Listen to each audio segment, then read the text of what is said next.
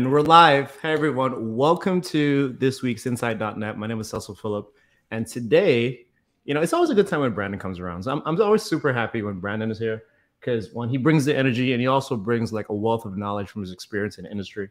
Um, but for folks, if you do not know who Brandon is, Brandon, why don't you take, I don't know, two or three minutes real quick and just let folks know who you are and what do you do? Yeah, thanks so much, Cecil. And thanks for having me back. Uh, I I was on the show, gosh, what, a couple months ago? I think mm-hmm. we were uh, chatting about we were chatting about .NET MAUI stuff, but um, yeah, yeah. Uh, my name is Brandon Minnick. I am a developer advocate at AWS. I've been doing .NET exclusively for basically the past decade. Uh, I actually worked at a company called Xamarin that allows you to make iOS and Android apps for uh, well, iOS and Android apps in C Sharp.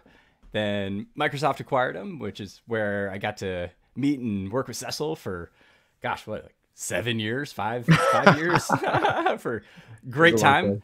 Uh, and yeah, recently jumped over to uh, AWS. So we're we're trying to build more awareness around .NET on AWS. I even got my cool developer relations swag nice. on. That's me in the hat. So that's why I got the hat on. Is that you? Is that you on your? You have your own clothes? Is that what's happening right now? Isn't that cool? Um, that is awesome. They made these for us. Yeah, like it was cool when I joined. They asked for like a bunch of pictures of me.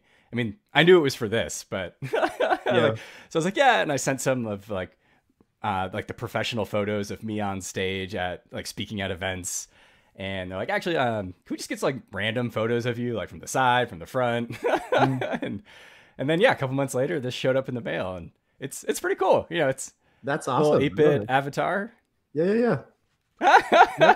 that's pretty dope. Okay, nice. But uh, but yeah, we're doing a big push at AWS to um, for .NET because AWS has always uh, or .NET has always worked on AWS since the very beginning.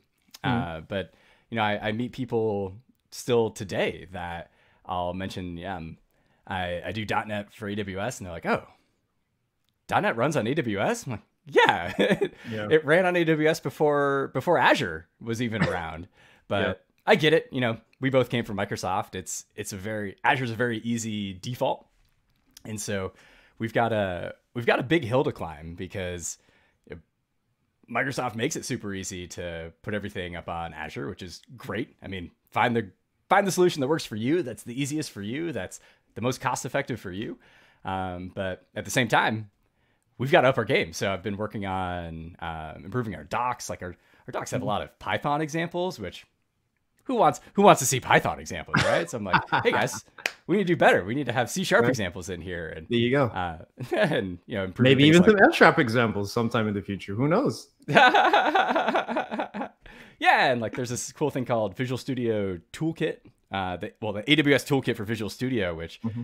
uh, again blows my mind that people don't know about that because mm-hmm. you can interact with all your stuff in the cloud right from Visual Studio. You don't have to leave the IDE. You can right right click publish, right click publish, even though you're not supposed to. yeah, I do it. Everybody does. Like it. you can view your logs. It's it's really cool. So um, yeah, this is literally just working with the toolkit team yesterday about you know how can we mm-hmm. make some more videos and show people how to use this and the power behind this because uh, for some reason developers aren't using it. So it's it's it's a great tool. So it's got to be just folks don't know about it. But that's me. Thanks for having me back, Cecil. Oh man, you know, like just listening to your listening to like that that your little bit of that story you told, it's such it's such an amazing thing to be for me like a .NET advocate, right? And I think, and just to give like a little bit of a history, a little bit of history, not too much. Like I remember when I first started .NET, and people were always just like, oh, you got to learn multiple languages. If you're you're not a real programmer unless you do like three, four, five languages, right? And you know, later on in my career, is like, oh, okay, no one uses .NET. Like, get off of that stuff. Da da da da da. And here I am now, almost like 15 years, 15 plus years in my career, and you know, .NET .NET runs everywhere. Like you said, like it runs on AWS, it runs on phones. I know Brandon, you're a big mobile guy, right? Like, and so you've you've written .NET applications that have run on more devices than just a website, right? Like it's not oh, just oh, yeah. about it's not just about ASP.NET, right? Like there's so many other places that it could go. And so for me, .NET has always just been um it's really just always given me choice, right? Like from the beginning, I've had the choice to build the type of apps I want to build, run where I want it to run, and it's still doing that today, right? And so that's that's one of the things that I guess keeps me like super excited about like being in the space, right? Um, yeah. Because the skills that I know, I can just I just keep getting more stuff, and I haven't had to do anything different, really, right? Like they just keep right. adding stuff to it. Yeah, and you know it's it's so cool because the the C sharp team at Microsoft really does an amazing job. Same with the .NET runtime team. Um, everybody that's working on it is so passionate about it, and they just want to continue improving it. So mm-hmm. you know the runtime team with every release, like with .NET 8 coming out, your app running in .NET 8 is going to be faster than the same code you wrote running in .NET 7. You get performance improvements for free. Um, the C sharp team keeps coming out with syntax improvements to make our life easier, uh, and it's it's just gotten to the point where it's like I I don't ever plan on leaving C sharp. Yeah. I don't ever plan on leaving .NET because, like you said, I can I can do everything. Um. You know, maybe you know there's the big craze nowadays around um, large language models and AIML and sure. Would I do that in .NET? Uh, probably not. I'd probably go use the tools that the big boys are using like R and Python, but or you could just but you make could. an API call, right? You just have someone true. else do it and just call an API. Right. But Easy. yeah, like I'm a mobile app developer. Like I said, like I've got I've yeah. got a couple apps in the app store. I love making mobile apps. Like, I don't have any plans to pivot to making large language models anytime soon. So yeah, yeah like my code when I integrate these these models is just going to be exactly that an API call to a ChatGPT to get the results back and then we're off and running. So yeah, figure I'll, I'll let the smart people do the AI yep. machine learning stuff and I'll just slide it into an app and then everybody thinks I'm really smart because they can do AI in my app. exactly, exactly.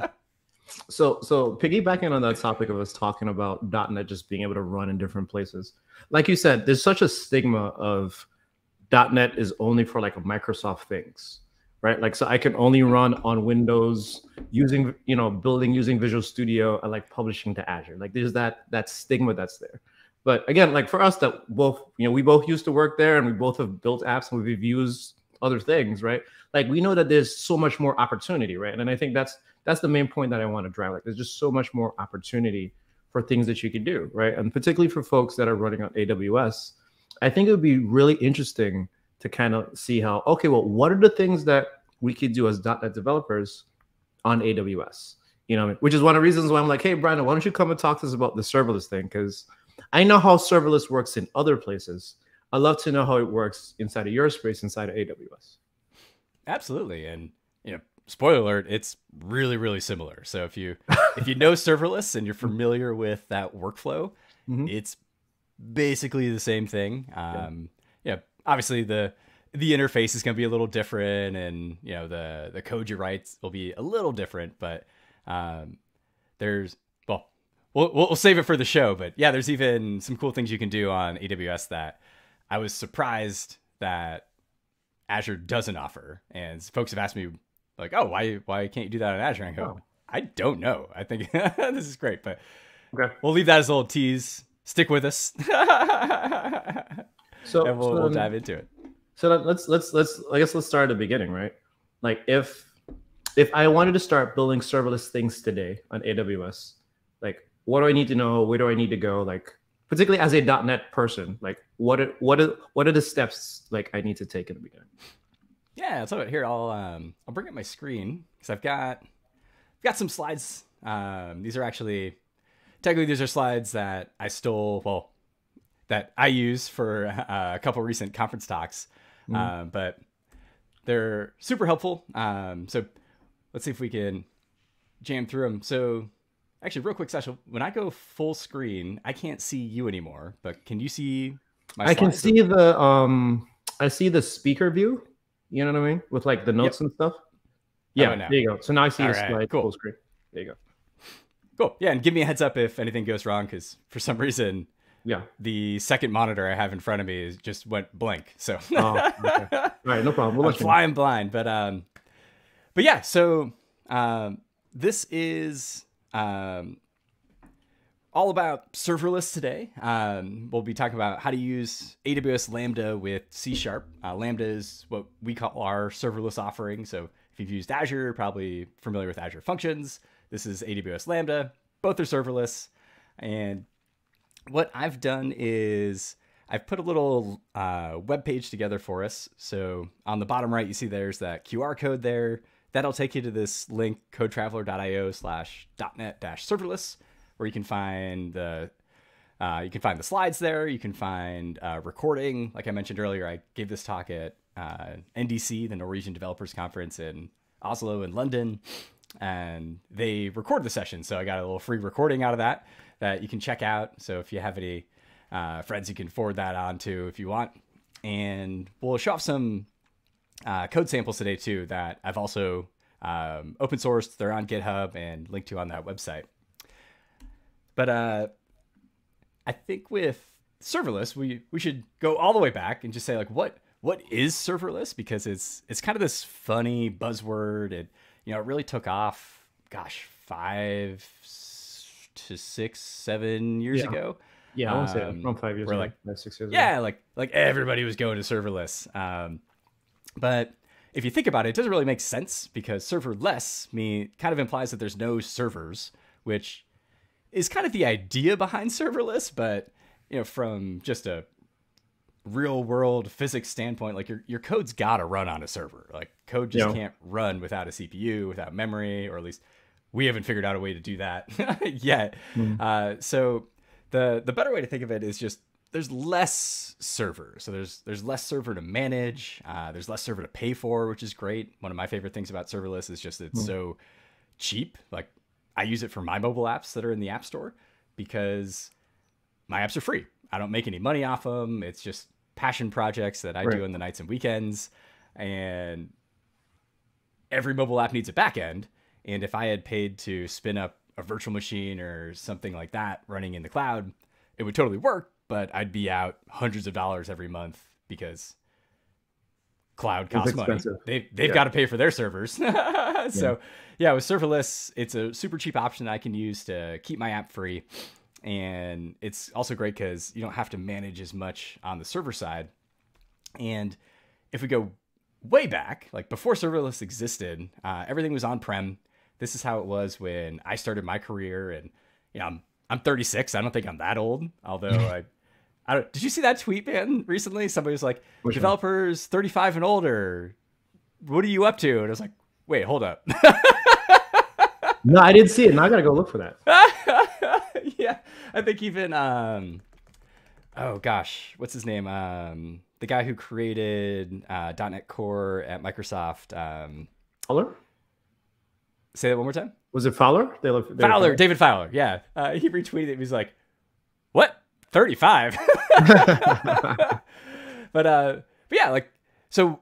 I started back in uh, 2009, 2010, and the company I worked at, like everything was on prem. We had a giant data center uh, that I basically lived in uh, because you had to go there all the time to literally install your servers. And like, if I wanted to write a new app, well, the first thing we had to talk about was okay, what server do we need for its backend? You know, what kind of scale are we expecting? Um, how do we handle redundancy? So we always get two servers, and then there's questions about like how do you handle like this was in Florida. it's like if a hurricane hits our data center here in Melbourne, Florida? What do we do? It's like okay, well you're right, so we should probably get a third server and ship that up to the data center in Virginia, um, and and so you have all this extra overhead when really all we're doing is making an app. And so uh, what what you end up doing is you have to plan months in advance because just to order the server is going to take Yeah. four to six weeks lead time, and that's optimistic, assuming your company's got like, um, uh, what do they call like accounts receivable and payable, and is Yeah. able to do POs relatively quickly. So, anyways, yeah, on premises was a pain. I mean, I would literally like once we figured out what server we needed, then we had to wait a couple months. The server would come in, it'd land on my desk. I'd have to walk that server down to the data center, find an open rack, slide it in, um, bolt it on there, hook up all the cables, hook up power, hook up Ethernet, and then finally you're just able to turn it on. But Yeah. then you have to install the operating system and you have to install all the security patches, and it's it's a pain. Uh, Yeah. It's especially for us software folks, like we just want to write code, but Yeah. let me jump through all these hoops. And then from the company standpoint, you have all this overhead that you have to have capital for too. So you have to have the overhead to pay for this giant data center. You have to have physical security at the data center, so you, only people with the right badge access can get in, and Yeah. you have to have like network admins that make sure nobody hacks in. You have to have um, system admins who make sure everything's patched and there's no security holes uh, running on the server. So it's crazy. So on premise, I'm glad that's not really the the way to do things anymore. And it all kind of started with AWS. Like Amazon basically looked around and said, "Well, we have all these servers that we're using for our website, Amazon.com. If you've never heard of it, uh, it's like, but these servers aren't running at 100% capacity, you know, and you do that on purpose, right? Like you you want to have some overhead, but as engineers, we always, always, always, or at least I always, always vastly overestimate what I'll need. So, like most of my servers, back when I was doing on-prem stuff, we were running like between one and ten percent. So we greatly over-engineered them, and so I assume that was probably something similar going on at Amazon. And they kind of looked around and said, "Well, what if we let people rent time on our servers? Because there's this relatively new concept called virtual machines where it allows you to chop up a server into multiple servers basically so you could say i'm going to dedicate two cpus and 8 gigs of ram from this server to run this windows operating system and i'm going to dedicate four cpus from the same server and this much ram to run a linux operating system. And for all intents and purposes they're totally different servers even though they're running on the same physical hardware. Uh, and that was all thanks to virtual machines so Yeah. yeah, this concept of cloud infrastructure came about where now we didn't have to worry about buying servers because we want to make an app. Well, I can just, with a couple clicks of the mouse, go to AWS and say, hey, give me a virtual machine. I need five cores. Well, probably has to be an even number, four cores, 68 gigs of 64 gigs of RAM. Uh, and in a couple seconds, maybe minutes, uh, it'd be it'd be ready for me to use. Um, and that was great because we didn't have the whole data center concern anymore. We don't uh, need to have racks and servers. We don't have to worry about heating and cooling costs.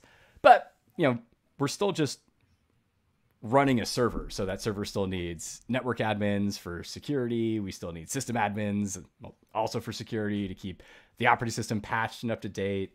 Uh, we still had to handle our own routing uh, and all that fun stuff. Um, so a little while after that came this concept of well what if we had these platforms running on the cloud which made it even better for us. Well us us developers where um, with these cloud platforms they said okay you know we'll take care of all the server stuff. Like obviously you're a developer you don't care about servers. Like um, you don't want to know you don't really care what version of linux are you running like what if we manage the operating system for you? And then you tell us how much server you need. Like i'll still tell you i need uh, an 8 core cpu with 64 gigs of ram um, but then i don't have to worry about windows or linux or security patches i don't have to worry about networking all that stuff's taken care of for me and that was great love that because now i can just like we were talking about earlier i can just right click publish my code to the cloud and it'll be running somebody else will just figure that stuff out for me.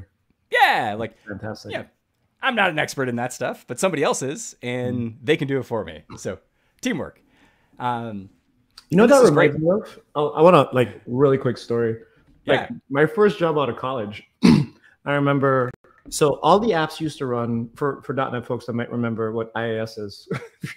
that, that's that's like how you date .NET folks. If you, they can tell you what IIS is. I got chills when you said that. Yeah, it's, IIS. ugh, What is that? PTSD. Yeah. um, but like, so we used to run our apps inside of IIS, right? And without going into the details of it. So if I wanted to test my application, like outside of my machine, I had to get a, a VM provision, provisions. It took me two weeks to get a VM set up, right? Not not because of me, but because I had to put in a request, and then licensing had to get involved because you know Windows licenses cost money, and then they had to like spin it up on the machine, and then they had to networking and security patches and all this other stuff. And I'm just talking about testing. That's all we talk about. We're just talking about testing. You know, what I mean, not deploying or all that other stuff. Which is why, like, I'm a huge fan of like cloud infrastructure, right? Because I can just go in, I can click a button, put in or maybe not even put in a credit card, get a free trial, and then I could just run some stuff. And it, I can probably do that within like, I don't know, a couple of hours, right? Versus like two or three weeks of just waiting to get, you know, resources. Oh yeah. And and also with the shortened time period, time window, um, it's also like one person can do it. Like yeah. for for my mobile apps, like I'm the only developer working on them. I mean, they're open source and people are welcome to contribute. Uh, but it's just me at the end of the day. And uh, I'm a mobile app developer. I don't really know anything about, well, I used to know things about servers, but that was 10 years ago. I'm sure everything's different. Uh, and so, yeah, just being able to ignore that and focus on my code and to be able to do it easily and quickly, sold.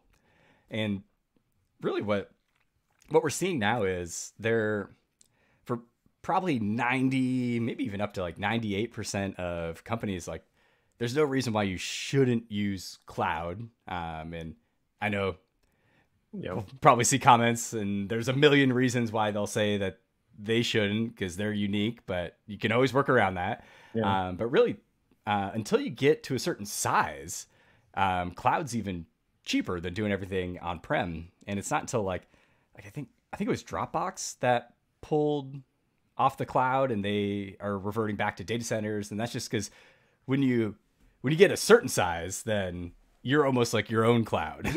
and so there's some economies of scale to it, which is how companies like AWS, Azure, Google Cloud um, are able to operate on it and not go out of business with the costs. But uh, yeah, for most of us, just use the cloud. Uh, like you're gonna kill yourself doing all this stuff on prem, um, and burning through all your engineering hours and time, and just life's gonna be easier. no, so, it will be.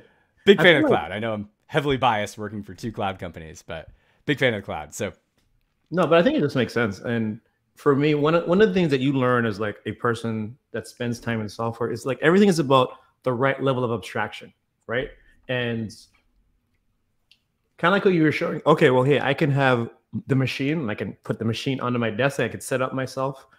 But like, do I need like that level of detail? And you know what? Some people might need that, right? And some people don't. It just just is what it is. I I don't run hardware companies. I I never need to like optimize storage ops to like yeah I don't know the megabytes per second. Like I'm not like I'm not optimizing software on that level. But some people do, right? And like for those people, I can totally understand why like the cloud is not the right level of abstraction for them, right? It's way too high. Like they need they need to be down to the wire. Whereas again, like I'm building web apps and web APIs, right? like backend services. I'm probably never going to need to know even what type of hard drive that I'm using. Like I don't care, right? Like is, there, is it there and does it have space? Yeah, sure. Okay, I don't need to know anything else, right? Let, let, let's go. You know what I mean? Right. Like we're just hosting a website or we're just making a backend for a mobile app. Like let's not overthink it. So, so right, so we're at this point now with these platforms in the cloud where um, we don't have to worry about the servers anymore. We just tell it, I want eight CPUs and 64 gigs of RAM. Here's my code. It just runs. Like AWS gives me the URL for the website. AWS handles all the networking, all the security. They're going to update the operating systems, keep them patched, and they've got an army of security engineers to make sure that nobody breaks in and hacks AWS. Um, and this is great. And this is still a valid way of doing things. And for many applications, it is the way you should be doing things. Like, and this is what we call Elastic Beanstalk is the name of this service uh, we have in AWS. Um, but what if we took it a step further? Well, if we go one step further, we'll get to serverless, where now I don't even tell AWS how much server I need. I don't even specify that I need eight core CPU with 64 gigs of RAM. Instead, I just say, hey, AWS, here's my code. Anytime it needs to run, run it. And then AWS will scale it up. So, like, if I have uh, 100,000 users open my app all at the same time, it'll scale up to handle that.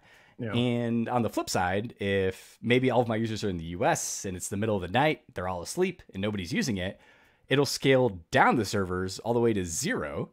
Um, and what's great about that is now I'm not being charged for compute time, networking costs that I'm not Right. using because with the platform, I I still was reserving a certain amount of CPU, a certain amount of RAM, and that was mine. Nobody else could use that. And so whether or not my users were consuming those resources, I would still get billed every month for that. So almost like this fixed cost for reserving that server space plus whatever you know consumption that my users drew from the server. So like you still get billed for your CPU time, you still get billed for your networking throughput. Um, but with serverless, I don't have that have to worry about that fixed cost anymore. And this is really where things get super super cheap. Um, and to me, this is this is kind of like the same model that was dreamed up when the cloud was first created because this is basically like hey we've got extra space on servers so what if we are able to abstract all this serverless this concept of servers away from the developers well then we can just find an open server run that code on it it's not going to run very long and we can spin it back down to zero. And from an optimization standpoint for data centers like now they're they're taking advantage of all the horsepower they have. And then for us as developers we get a super cheap monthly bill. So it's it's really really great. Um, like i said I, I use it for my mobile apps. Um, but what we what we're looking at is we're abstracting away the servers. We're instantly publishing our code to the cloud. We don't need to manage operating systems. We don't need to manage networking. We have scale. We can scale all the way up to meet our millions of users. And and you can put a cap on that by the way. If, if you're worried about getting a huge bill you can tell it limits on how how much to scale so you don't get surprised with a giant bill because maybe your app goes viral and millions of users download it. Although if my app went viral and millions of users downloaded i'd call that a win. But uh, but yeah instant scale all the way up and it'll scale down to zero when everything's idle. But here's the catch. Um, because it scales down to 0 Mhm. yeah you get this concept of cold starts. Yeah. and a cold start is the f- first time your app runs, then you know AWS has to find the resources. It's got to take your code, it's got to run it on a server, and it's basically like like when we say .NET run in the command line or in Visual Studio and we click play, like that's basically happening behind the scenes along with allocating space on a server. And that takes time. Again, physics, we're, we're working in the bounds of the laws of physics, uh, and that takes a little bit of time. And so, what you'll see is what we call a we call it a cold start penalty. Uh, and on AWS with .NET 6, .NET 7, uh, we're getting really close to it almost being negligible now. Um, so if you if you're still running .NET 6 and you can see here on ARM, it's going to take about a second. Um, and so when the first user launches my app, they'll see about a second before they get the first response back. But after that, the server's warmed up and it stays warm for a certain amount of time. I think it's about 15 minutes. And so the second request they make to my serverless backend will only take 5, 10, 20 milliseconds at the worst, which is, I mean, that's Yeah. that's negligible. That's I don't even I don't even include that in um, in my timings because what is 20 milliseconds? Um, Yeah.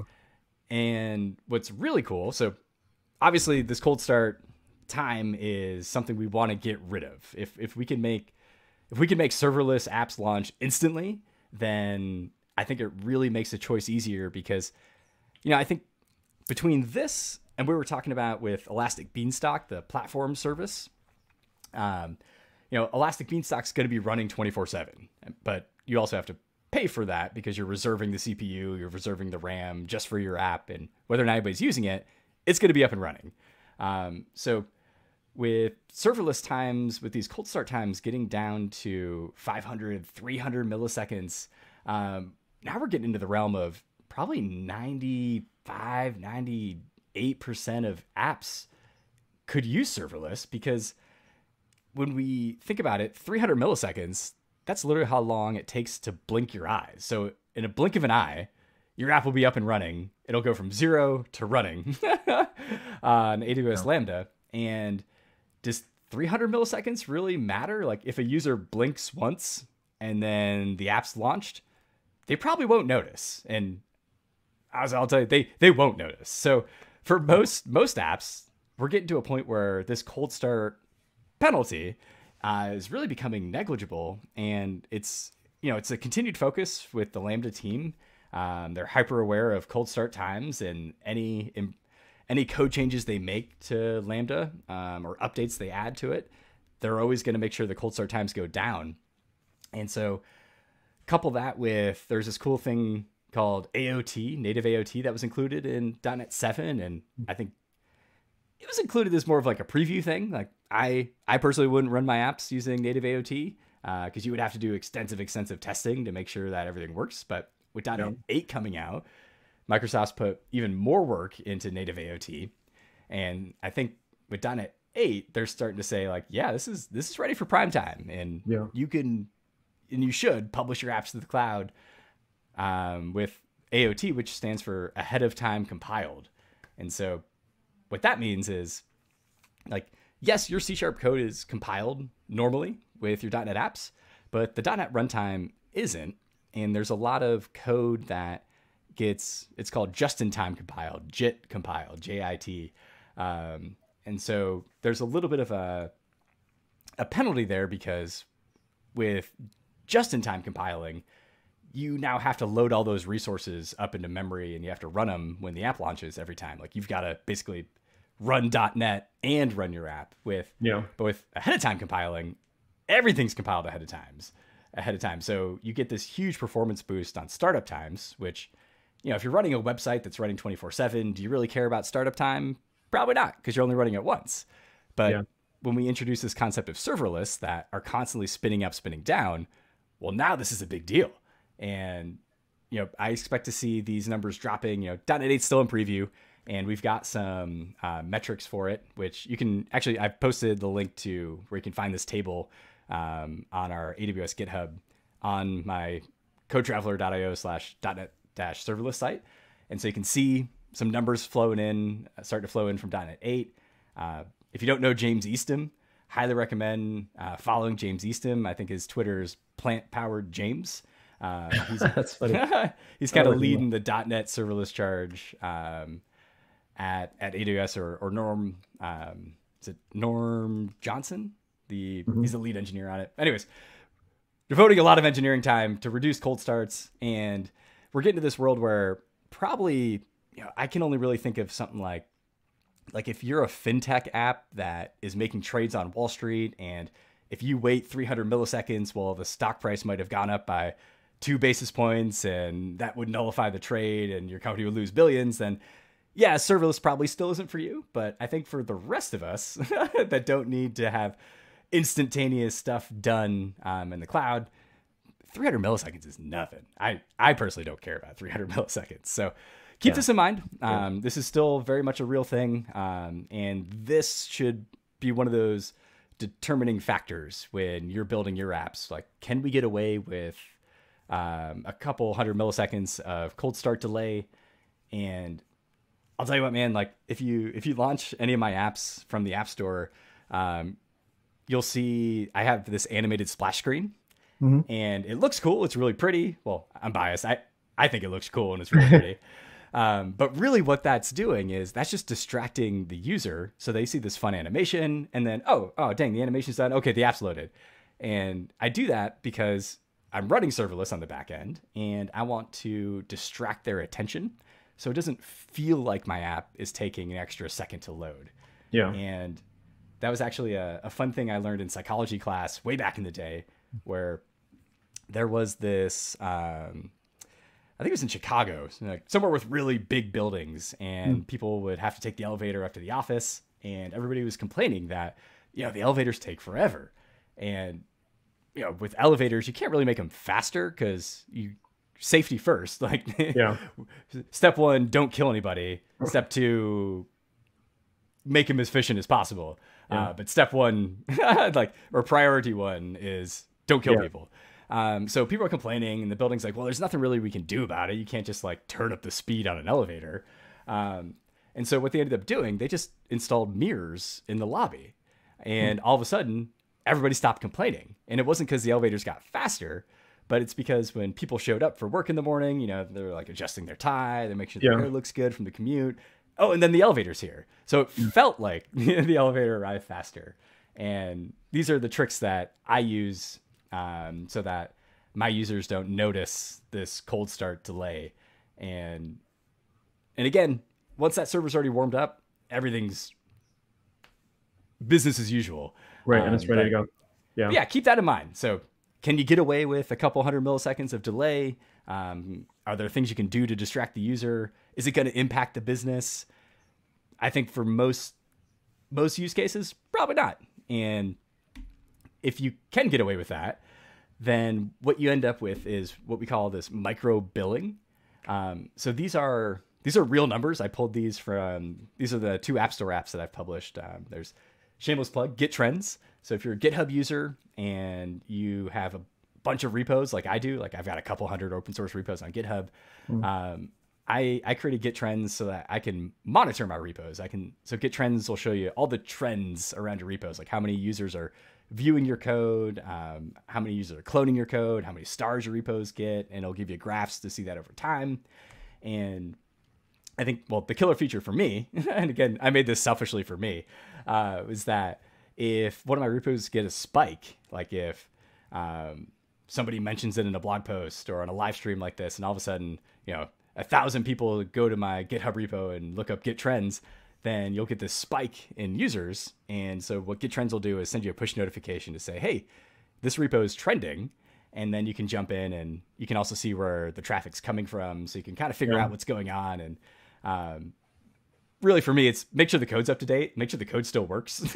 Because you know, there's some repos I haven't touched in a couple years, and all of a sudden, like they get a couple hundred users looking at it. I'm like, ah, let me jump in and fix that. So, Yeah. so that's Git Trends. Um, Punday is a is a fun game. Um, I teamed up with a, uh, my buddy Matthew Broussard. He's a stand up comedian that makes these funny drawings, and each drawing is a pun. And so you have to figure out just by looking at the drawing what what's the pun. So it's a fun word game if you're into word games and puns. But what we're talking about is serverless, and these are the actual costs um, for my app. So you know I don't have million users, but you can start to see a scale for how much I'm paying for a couple hundred monthly active users. 14 cents and 19 cents. So 14 US pennies for my Git Trends backend. I could absolutely afford that. I mean, it's like I said, it's a free app. I don't make any money off it. And with serverless, I can keep the cost super low. And I've got I've got it written down here. I don't this doesn't really mean much to me because the scale, but Yeah. if you're curious, it's point zero zero zero zero one three three three three, repeating U.S. dollars per gigabit second, uh, which is I don't know, man, incomprehensibly small to me. Yeah, it's not even like any. Once you're talking about like less than less than like a cent, then I mean, we don't even need to talk about it. You know, It- it's so it's so tiny. Yeah, like I look at that and go, oh, so it's free. Got it. Yeah, I'll I'll send a couple pennies in the mail every month to you, AWS. Great. yeah, And so, to me, this is the biggest benefit of serverless, um, along with the fact that I don't have to manage an operating system and all those benefits that come with running on the cloud. Is this this bill is super super affordable, and for free apps, yeah, I'll, I'll donate a couple pennies every month. that's that's not going to kill me. Um, and so, I think this well, I think I just said micro billing was the killer feature, but I'm also going to say event driven is the other killer feature. so two killer features of serverless, um, because so because the the serverless instance gets scaled all the way down to zero, something has to trigger it. Something has to wake it up, and we've kind of been talking about without really saying it, like APIs. So like an HTTP request gets made to the server that's running on AWS Lambda, a serverless instance, then that HTTP trigger is what'll wake it up. But what's really cool is you can have all these other services that already run on AWS trigger your your serverless instance to wake it up. So, for example, uh, what we're going to see today, I have a, an S3's trigger, which S3 is just storage on AWS. Like you can think of it as like a folder in the cloud where you can dump anything you want in it. You can put in text files, you can put in images. It's kind of like having a folder on your desktop where you can drop in your vacation photos. That's Mhm. that's S3. Um, and so you can have you can configure your serverless instance to anytime a new file's added to this S3 bucket, wake up and run some code. And what we'll see today is um we're going to be uploading images, and I'll have I have an S3 trigger that takes that image and scales it down to a thumbnail. Um, but if you had you can if you had uh, DynamoDB database, so like maybe a new user signs up for your app, you store that user info in DynamoDB, you can have a database trigger wake up your serverless code and run that specific to that new database entry. So things like, you know, I signed up for a service, we could have a DynamoDB trigger wake up and send me, the new user, a welcome email. And that way you don't have to have this like inline flow. Everything can just happen based off of events. And we don't have to have like, you know, in a monolith, it'd just be a lot of async and await, right? It'd be like, okay, well, Yeah. await adding this Awaiting, to the awaiting, database awaiting. await Yeah. sending an email and you're just chewing up resources because that app's got to keep running while it's awaiting but here we can just have things trigger so anytime anything news out of the database or if you can add something to queues you can queue objects up in the cloud um, or streaming data with aws kinesis and there's there's a bunch more but we're already we're already running a little low on time so let's actually jump into the code and look at this um, because like I mentioned, I'm a mobile app developer. Hmm. So I made us a little mobile app today using uh, .NET MAUI. So it's all in C Sharp. And what I've created is this super, super common use case where um, you may not realize it, but anytime you upload a photo to, I'll say any app, but let's say Instagram, um, Instagram doesn't serve that same photo to all your friends uh, when they see it on their timeline, what Instagram's done is they've scaled down that photo because you know if you think about it, like the new iPhone has like a 48 megapixel camera, and so you're giving Instagram a 48 megapixel photo, which I don't I don't even know how big that is, but hundreds of megs, maybe even bigger if depending on the format. um, and it'd be crazy for Instagram to serve that same photo to all of your friends because they'd launch the app and they'd have to wait for a 100 megabyte photo to load. And what are they going to do? They're going to blame Instagram. They're going to say the app is slow and they're going to give it a one star review. So, what what every app does, or at least should do, when a user uploads an image, is scale it down.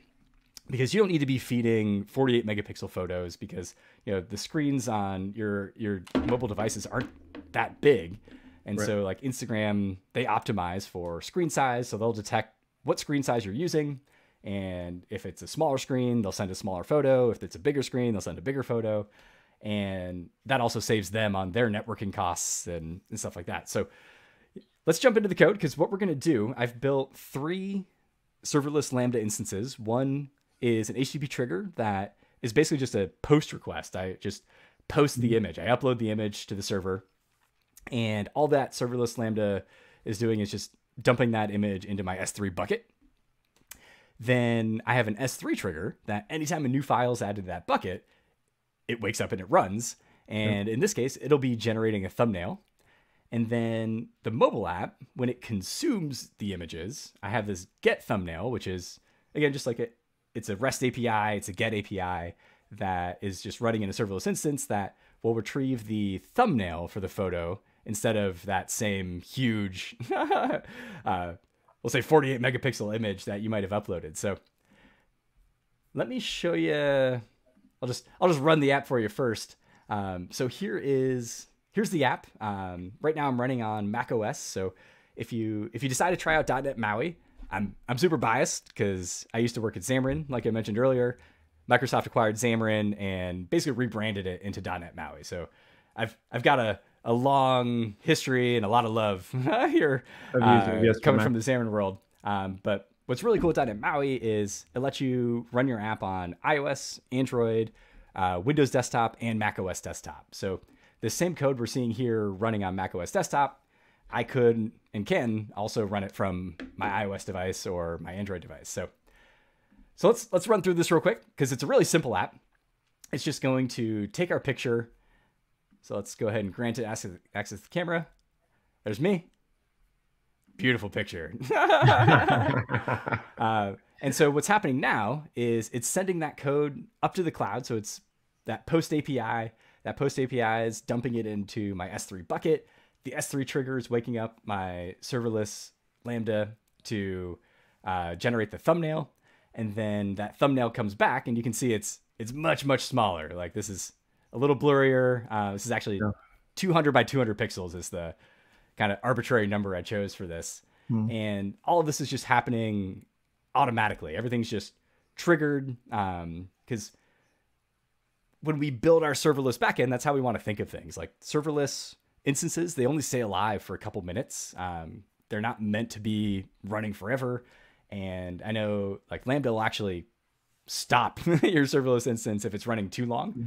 Um, I forget how long that time is, if it's 5, 10, 15 minutes, something like that. But, um, but if we look at the code for this backend, um, well, one cool thing is this is all in .NET. It's all written in C Sharp. So I have the same code for um, my mobile app in the same solution as my backend. And because it's all in C Sharp, I can share some code in between them. So I don't have to duplicate stuff. Um, but let's check out let's do the get API. So this is probably one of the most common use cases for for serverless is let's create a get API. And so really what we're doing is we're just creating a method. So I have this method called function handler that in this case, make this a little bigger, has a response or a trigger. And in this case, that trigger is uh, an HTTP request. So this HTTP request comes in via Azure's API gateway to wake it up. And we this request is, you know, this is just your HTTP request. So we can what I do is I check the query parameters because uh, the mobile app tells you what the name of the file is that it needs. And if obviously that's not there, I send back a a response that says bad request. Like you got to tell me what file you need. I'm not just going to give you a random file. Um, but from there, all I do is I get the thumbnail file name because the the mobile phone doesn't know that I generated the thumbnail. It just knows the original file that it gave me, and it's asking for that back. So I have I generate that file name, and it's this is really simple code. I just add in this constant that underscore thumbnail.png. so yeah. I just rename it underscore thumbnail, and then once I have that, because that lives in S3, um, Amazon, AWS, really smart. They thought ahead. They said, we don't want anybody just to have access to your entire S3 bucket. That'd be a huge security hole. Um, so, so what they do is uh, you're able to generate a a short-lived URL. So, so I have this file that I made called S3 service, where I've got a couple static methods in here that feel free to to grab these, copy paste these into your code. But really all we're doing is, well, first of all, we have this S3 client that up here, um, when this app launches, when the serverless instance launches, it creates this new Amazon S3 client. And what's really cool about this is because this is initialized, because it's newed up in the code running in the cloud, this client has all the info that we don't want to share elsewhere. Like all the security info, like right. it knows how to access my S3 instance. It's got all the credentials built in because this is running in like my little secure enclave in the cloud, and um, it knows how to access everything that I have access to or have granted access to it. And so what we're doing is we're just passing in that S3 client along with my S3 bucket name and the thumbnail that I want to get. And if we check out this code here, all I'm doing is looking to make sure that does the file exist? um, so we're just looking to get the object from that S3 bucket. And if the response is null, then obviously it doesn't exist. But for our app, this demo, obviously it did. And what we're doing is we're going to set an expiration date. So again, Instagram, it's really cool. If, if you ever go to the Instagram website, you can always um, dig into the source code. So you know, as developers, we can right click and say, um, you know, view source code, and you'll see in Instagram, you know, you got to dig a little bit for it, but eventually you'll find a URL that is what they're serving to us, but that URL has this time window on it. So we've set this expiration date, and for this demo app, I set it to a year. I think Instagram sets it to a minute or a couple minutes. So you can't Oh, wow. come back and see that uh, access that same file again. Yeah. But, but yeah, so what we do, we generate this pre-signed URL for the bucket I specified, the uh, key, which is the file name, and then my expiration date, and then that's it. So I I've got this URL back, and what this API is doing is just returning that thumbnail URL back so that now the mobile phone can display it. And and so this is really cool because this is just one function. We've got a couple lines of code, 50 lines of code here, 20 lines of code in my S3 service, and we're able to access this file from my backend API. And this is all running serverlessly. So it spins up, it spins back down when nobody's using it, and your monthly bill is basically negligible because of that. And as long as you're cool with a little bit of the cold start time, or you can work around it, or as .NET 8, .NET 9 comes out, and those cold start times get lower and lower, um, keep an eye on those because eventually this will just become negligible. And we can actually see that here because when I first ran it, you know, it took a couple seconds, not too long. But if we run it again, now that everything's warmed up, it should come back much faster than than it took originally. So I didn't time the first one, so this is very uh, unempirical. But come on, make it faster. it's, it's coming. Don't, don't make me a liar. So, well, maybe somebody can time it in the comments. Let us know how much faster that was, because uh, it should be at least three seconds faster because we had three cold start penalties in there in the first one. Right. Uh, so, so this is what like an HTTP uh, trigger looks like. Uh, if I dig into the code for my generate thumbnail, it's going to look really, really similar. Uh, we still have our S3 client. Uh, we still have our function handler, but the difference here is it's an S3 event that wakes it up. Um, so again, this S3 event, this includes everything about my S3 bucket. So I can immediately access my S3 bucket and I can uh, check to see like this is the bucket's name and again the key, which is just the file name. Uh, but let me see, we're running real short on time. So let me show you what this looks like in AWS. So this is the AWS Web Console. And in here, I've got my serverless functions. Let's jump over to the data center where they exist. There we go. Um, so, you know, my generate thumbnail needs an S3 trigger, and this is where we wire that up. So once we have written our code, we come in here and we just say add trigger to tell it here's here's how we want to wake you up. And like I said, there's there's tons of ways to trigger serverless functions, even from uh, partners outside of AWS, which is really really cool. Um, so you just point it to the S3 bucket in this instance that I want to wake it up, and AWS basically handles the rest. So I get this S3 event that comes in, and I can just basically ignore all this stuff on the back end as a developer. Um, and likewise with the those get APIs, similar. I wire it up to an API gateway. So this is how it knows this is an HTTP trigger and an HTTP event is what's going to wake it up. Whew. All right. Sorry. So, so I think we only got two minutes left. No, that's uh, fine. Keep going. Keep going. um, well, that's I think that's basically it for the demo. Um, happy to stay on with you if you want to go over. I can dive into some more code, but I'll share the the QR code, the URL for anybody following along. If you haven't had a chance, make sure to uh, grab this link, bookmark it, save it, because uh, this is where you can find that code for this Lambda trigger sample app that we just showed off. Uh, this is where you can find links to the cold start tables and times that we keep track of for .NET or James Eastham keeps track of for .NET on AWS. So all your resources from that we've covered today you can find here. But whew, what do you think? Yeah, man. What, what questions? No, I, think, I think that was pretty cool. Um, and I definitely have a lot of other questions that I, I really kind of want to dive in a little bit deeper into. And I think what might be a good idea, maybe we could set up some future, some other future sessions with with with us on the show. We can kind of really dive into those because a couple of things that popped into my head was okay, that seems really easy to do. I'm particularly looking at your code, like the code looked really easy to follow. So the first thing I'm, I want to ask as well, well, how do I debug the thing, right? Like how do, and how do I debug it on my machine, and how do I know when bad things happen in outer space, right? Like like after it's deployed, like how do I how do I debug maybe debug is not a good word. How do I diagnose problems? How do I diagnose problems on my machine, and how do I diagnose problems in the cloud? Like, I'd love to know that. And then Yeah, so all also, um, what's that other thing? Like, you showed how to how to add the triggers in the um the dashboard, the console, and maybe something really stupid. Like, so I when I tried to use AWS, I never thought about that. I was just like, oh, okay there's this cloud formation thing and i'm like sitting down trying to figure out like other other ways to do it. And i'm just like oh i could have just gone like clickety click clickety click and clicked it. And i probably would have been able to create my demo so much faster.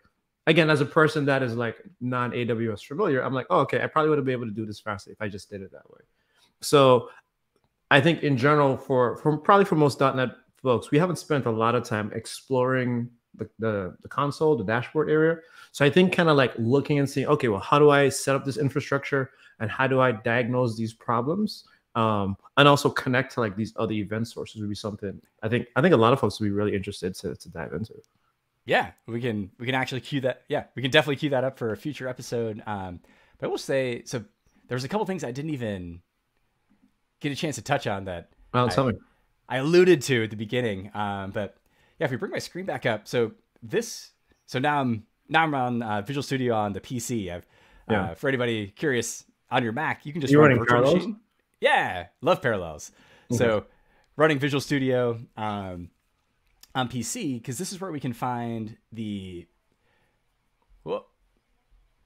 Zoom up, zoom out. There we go. So this is the AWS toolkit for Visual Studio. Mhm. Um, so we get our AWS Explorer here. It's all built in, and we can see like these are my AWS lambdas that we're just looking at: upload image, get thumbnail, generate thumbnail, and and you can we can do things like um, like like generate thumbnail. We can we can view the logs. We can get all this in Visual Studio.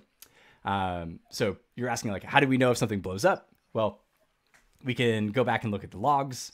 Uh, and I mean, we should have reporting and stuff wired up, but you know, we could see like June 28th, here we are, uh, 9:56 a.m. This is my local time. Um, Yeah. We can see that this is where it generated the thumbnail, and you know, if we look back at my code, um, now I have where am I logging? Here we go. So like context.logger, and again, this i lambda context is just given to us. Right. Um, so we just say log information, which is you know very very similar to how we do it in .NET. Um, and we can say like put in errors. Um, you can run these locally, like you mentioned. Uh, like how do I debug it? You can run them locally. You can do it with the debugger. Um, it gets a little complicated because you know we talked about how when this S3 client initializes in the cloud, well, it's got all my service credentials and it knows how to access that S3 bucket that lives in the cloud. Yeah. But when I run it locally, it doesn't have all that info because it's just running on my PC, not the server it's in different the space. cloud. So, um, yeah, you'll have to know how to work around that. Like you'll have to probably generate um, some access keys to give your code some permissions. Be careful with that. Uh, you don't want to connect, uh, commit those to GitHub or anything like that accidentally. Yeah. Um, but, but yeah, you can you can debug them locally, um, or if if you want, you can always just you can put in logs. Um, but I prefer the debugger over logging. Um, but yeah, man, yeah, we should definitely come back and do a do a deeper dive on all this stuff because this is this is really cool. I, I love this stuff. Um, the oh yeah, so the other thing you mentioned like how, like how do we even create these? Um, once you add in that AWS toolkit, then it comes with a bunch of templates. So like if I Oh, type nice. in Lambda, you can see I've I've already have it used for recent projects. Don't know why the search is taking so long. There they are. So you can create one for Node.js or in our case C Sharp, and when you do that, it'll ask you like, what do you, what do you want to make? Uh, maybe It's thinking. or no, there we go. So There you go. So yeah, then it uh, you can say like just an empty function, or like if you want to see an example of how to use Kinesis, or we're using S3 for S3 buckets. Um, you can kind of see these use these templates as like a starting point. So like if I just tell it I'm doing S3, then somewhere in here, there we go. Then it creates all all that code for me. So should look pretty similar, pretty familiar to what we were just looking at, just minus, you know, I deleted a bunch of these comments because yeah, awesome. get them out of the way. I just want to talk about the code, but, awesome. but yeah, man, this this AWS toolkit is super super useful. Um, and yeah, next time we should show off. Uh, there's a really really cool feature with Lambda that uh, I would have to look at the docs. I don't know how to do it off the top of my head, but sure. you can actually convert if you have an existing ASP.NET Core app um, with mm-hmm. one line of code. Um, well, one NuGet package, then one line of code. Um, you can basically inject into the middleware to say, this is now an AWS Lambda.